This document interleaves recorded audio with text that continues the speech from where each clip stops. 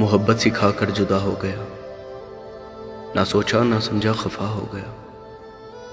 दुनिया में किसको हम अपना कहें? जो अपना था, वही बेवफा हो गया।